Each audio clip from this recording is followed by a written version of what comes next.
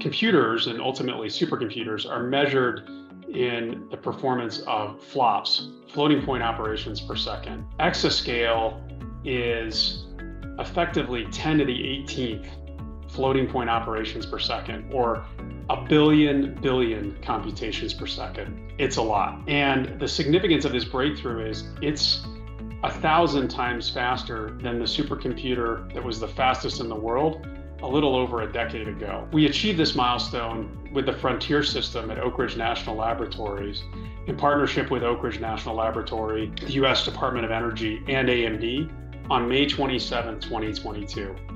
It's a world's first, it's a system faster than the next seven most, most powerful supercomputers combined. That's pretty incredible when you think about it.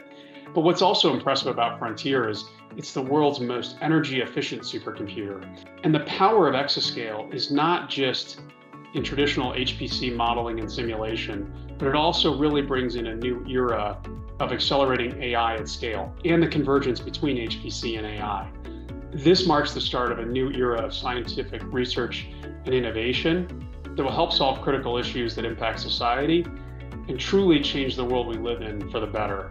What's exciting about this this point in time is exascale, while a destination, is actually really the beginning of a new era, a new era in supercomputing where traditional modeling and simulation in areas like modeling nuclear reactors, studying our, our Earth, our Earth system, designing resiliency in the electrical grid, areas that we've traditionally struggled to model, we can now model at a level of scale and accuracy and fidelity that's necessary for us to solve the next set of challenges ahead of us.